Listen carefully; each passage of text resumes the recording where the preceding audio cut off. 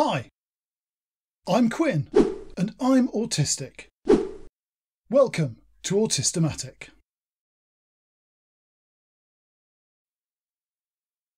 Becky worked in the food hall of a department store, and in her lunch breaks she browsed the record shop where I worked. We started chatting, and after a couple of weeks, she suggested we go on a date. It was the late 80s, and I was 17. So, on a bright summer Saturday evening, I got on the bus, expecting to be at our meeting spot at about 6.45, 15 minutes early for our 7 o'clock date. Then life threw me a curveball. The bus had engine trouble and took a detour to the city depot. Us passengers waited on the bus whilst a mechanic opened panels and banged about, until eventually the driver asked us all to get off and mount a different bus to complete our journey to the city centre. When I got to our meeting point, I was already running more than 10 minutes late. But whilst there were a couple of other people there waiting for their own friends or dates, I didn't see Becky. She must have been held up too, so I dashed round the corner to the ATM to take out some cash. I grabbed the money and hurried back to meet Becky once she turned up. And waited. And waited some more. Back then there weren't any mobile phones, so there was no way of contacting her to see where she was. I simply had to wait until she got there. At around eight o'clock, I saw a bus that could take me home waiting at the traffic lights. So I decided that I'd waited long enough and ran to the bus stop to go back home. Either Becky had been too impatient to wait for me, or she'd got cold feet. Or maybe there'd been some emergency in her life, or her bus had broken down. I had no way of knowing, and since I didn't have her phone number, I'd have to wait until I saw her to find out. I didn't work Mondays, so on Tuesday I waited for Becky's lunch break with a mixture of anticipation and dread. I'd find out whether I'd been the victim of a cruel prank or just one of life's unexpected spanners in the works. I was totally unprepared for Becky storming in with a face like thunder and immediately tearing into me for ignoring her. What sort of monster was I? It would have been bad enough had I just stood her up, but to turn up and walk straight past her like she wasn't there? If I didn't like her, I could have just told her instead of being so cruel. She told me how she'd got her hair done, bought a new blue dress because she knew I liked blue, and had waited patiently for me to turn up, only to see me get off the bus, look straight through her, and then run round the corner, leaving her standing speechless in shock. Then it dawned on me. There had been a girl with big 80s blonde hair in a blue dress waiting near the post office we'd agreed to meet at. But that wasn't Becky, was it? It was Becky, and I hadn't recognised her. I'd only ever seen her in her work uniform, without makeup and with her hair tied back and the girl I saw outside the post office looked completely different to my eyes. I apologised for all I was worth and begged for forgiveness. I'd honestly not recognised her, and I was so sorry for making her feel bad. I told her that I'd waited until 8 pm thinking she hadn't turned up, and pleaded with her to give me another chance, but she was having none of it. I was a nasty piece of work, and she wanted nothing more to do with me. She never came into the shop when I was working ever again. To rub salt into the wound, her colleagues from the department store would give me the side eye when they came in, and a couple refused to be served by me. Eventually, I lost that job after two of her colleagues lodged bogus complaints about being short-changed by me, presumably in revenge for my despicable treatment of their friend. It was many years before I heard the word prosopagnosia, and still more before I discovered that it's actually really common in autistic people like me. There's no clear understanding of how common prosopagnosia or face blindness is among autistic people, and it seems that the general understanding of it is very sparse too. Estimates of how many autistic people have trouble with faces vary wildly, but outside of academic study, I can say without doubt that it's very commonplace amongst us. Whenever I've told that story I've just told in Autistic Company, it's amazing how many eyes light up as memories of similar incidents in other autistic lives come to the fore, and their stories emerge too. If you look up prosopagnosia online, you'll see it described as an inability to recognise faces, and that it can be either an inherent difference we're born with or acquired through brain injury.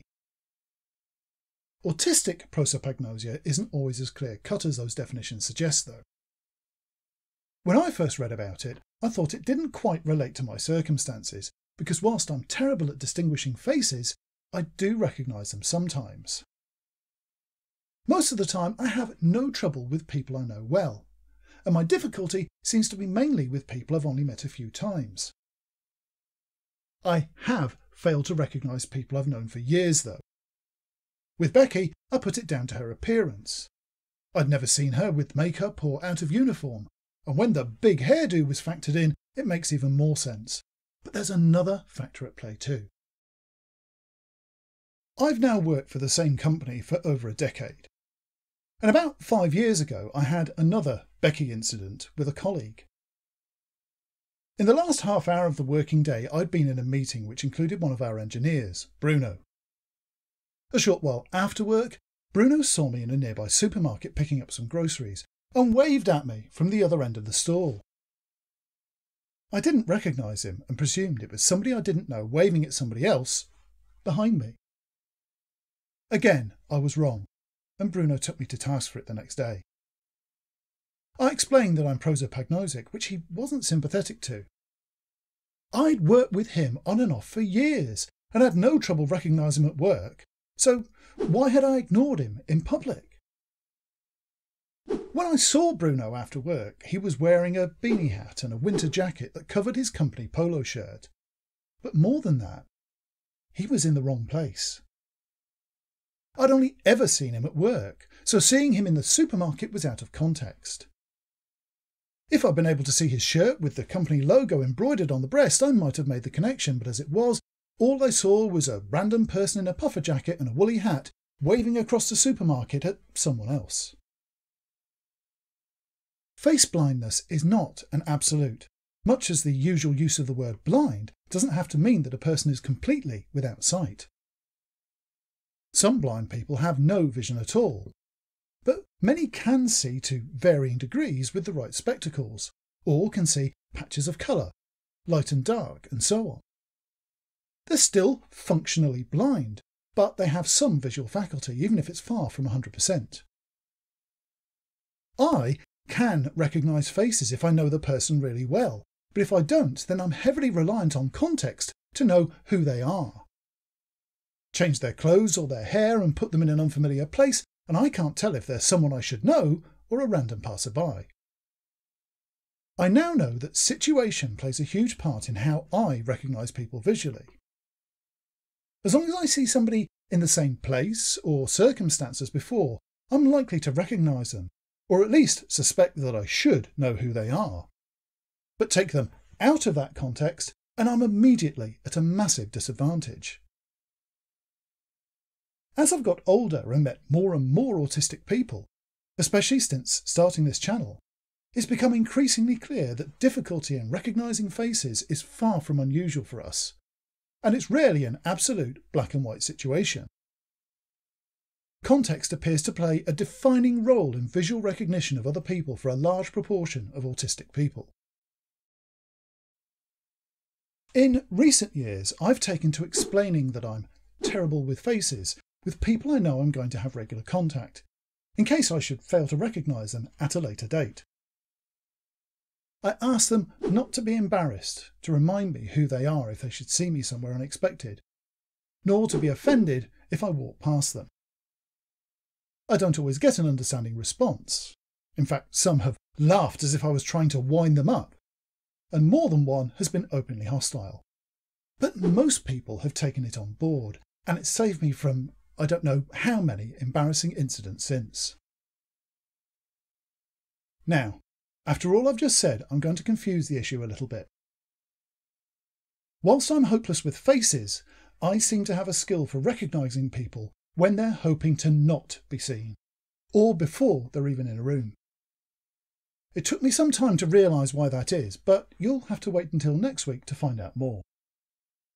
If you're autistic and you've walked past people you know or not been able to recognise someone from a photograph, you're far from alone. There's a lot of us. If you've any tales of times you've been put on the spot for ignoring someone you didn't even recognise, or have anything else to add to the discussion, please pop it in the comments. But until next week, thank you for watching. Please don't fail to recognise how important it is to YouTubers that you hit the like button on our content, or how much subscribing helps other people get to see what we make. If you'd like to help fund future videos and more, you can support the channel for a modest monthly sum by becoming a patron on Patreon, or treat yourself to some exclusive Autistamatic merch on TeePublic. There's links in the description.